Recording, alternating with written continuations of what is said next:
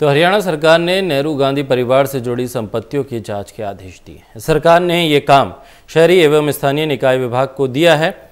विभाग को पता लगा, लगाना है कि राज्य में नेहरू गांधी परिवार से जुड़ी कितनी अवैध संपत्तियाँ हैं, जो इन संस्थाओं ने गलत तरीके से इकट्ठा की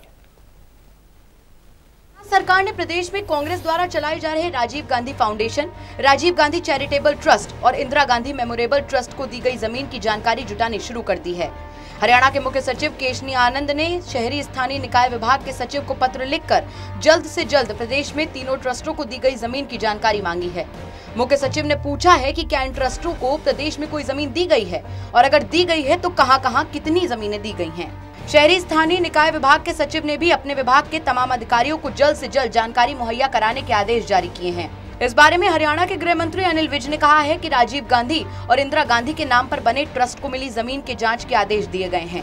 हरियाणा में राजीव और नेहरू के नाम की संस्थाओं द्वारा ली गई संपत्तियों का ब्यौरा मांगा गया है और ये जानकारी जुटाई जा रही है।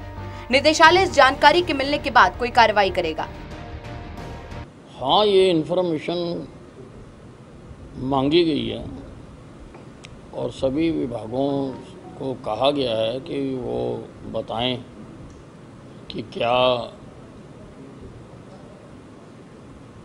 राजीव